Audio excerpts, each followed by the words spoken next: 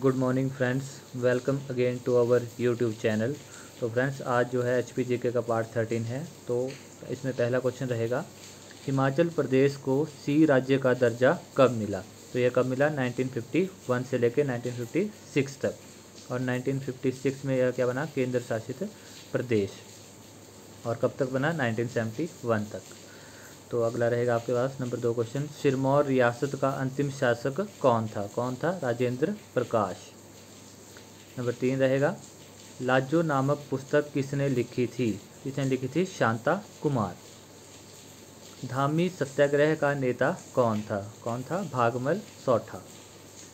Number पाँच question है, Shimla past and present के लेखक कौन थे? कौन थे? एडवर्ड जे वक।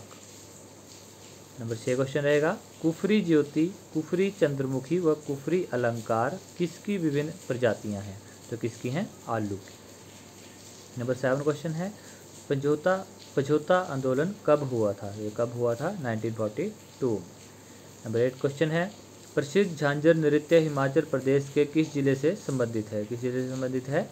चंबा ज़िले से।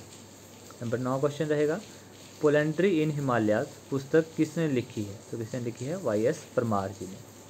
नंबर दस क्वेश्चन है, पांगी उपमंडल का मुख्यालय कहाँ है? तो कहाँ है? किलाड़।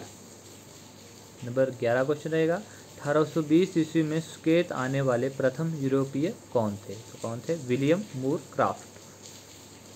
नंबर बारह क्वेश्चन रहेगा, विश्व धरोहर 96.54 किलोमीटर लंबी कालका शिमला रेलवे लाइन पर कितनी सुरंगें हैं? तो कितनी सुरंगें हैं? 102 नंबर तेरह क्वेश्चन है, कुल्लू का प्राचीन नाम क्या था? तो क्या था? कुलूत।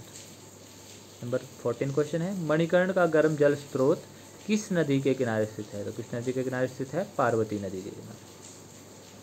नंबर फिफ्टीन क्वेश्चन है, हिमाचल प्रदेश में फ्रंटियर गांधी के रूप में कौन जाना जाता है?